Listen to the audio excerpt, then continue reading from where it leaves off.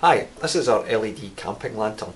It's a, a 1000 lumen uh, lantern uh, which is really really bright. It's very impressive uh, when you're actually in the dark. Um, it's got four, four different bulbs on it um, all around and these are what we call chip on board or cob LEDs. Each one of these is 5 watts putting out about 250 lumens per panel um, and it gives a 360 degree light um, that's very bright. Um, it's, it's too bright for most small tents for example, it's for bigger environments if you're in a, a family-sized tent etc. Or power cut, emergency planning, something like that. Um, it's got a single on off button at the top here. Um, when we switch it on um, it goes on to full power mode and then we have another three settings.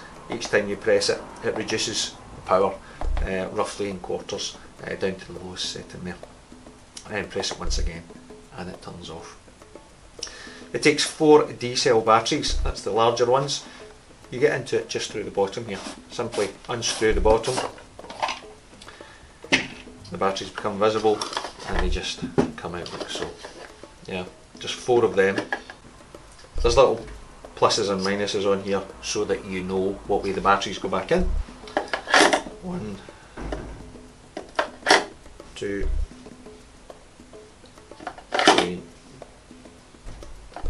four.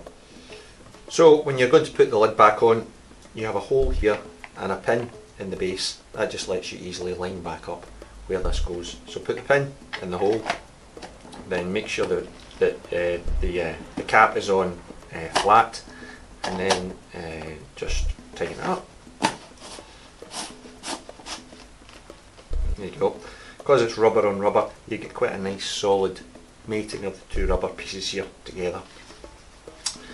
Uh, you've got a carry handle on the top that makes it easy to either hang up or just to carry.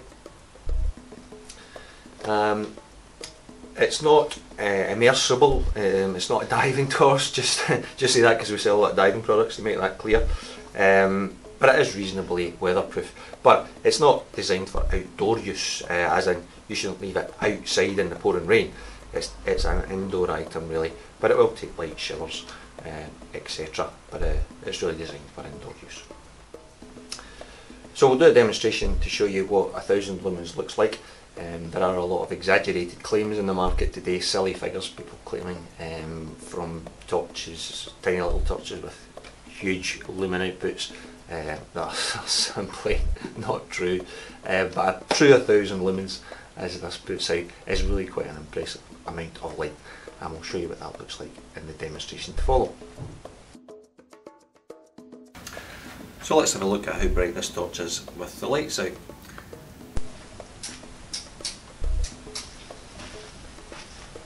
Okay, so this is the first setting. Um, as you can see, it's really quite strikingly bright. Um, more than good enough to work with and, and it, it, lights up a considerable area and if I walk back away uh, a bit further away you can get a good impression of, of the amount of light this is putting out and it's all the way around uh, so you get a real good area of illumination. Uh, I'll go through the, the settings that's the first reduction, maybe about 75%, 50%. Down at 25%, it's probably more a night time, you know, going to sleep, uh, ambient light than a work light, but it's uh, quite useful if you're in a confined space. And then the fourth one's off. And that's it, that's the four settings on our 1000 lumen lantern.